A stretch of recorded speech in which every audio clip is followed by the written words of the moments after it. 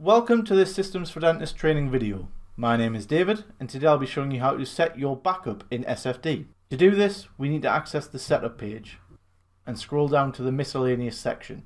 In there we have the backup option. We simply make sure that the backup is active by ticking the checkbox. We can then set the location path for the backup and also the time we want it to be done daily. A backup can be set on any machine but our advice would be to have it set up on the practice server. Thanks for watching. You'll find more videos as well as a series of FAQ help guides on our website. For other inquiries or support requests, please don't hesitate to call.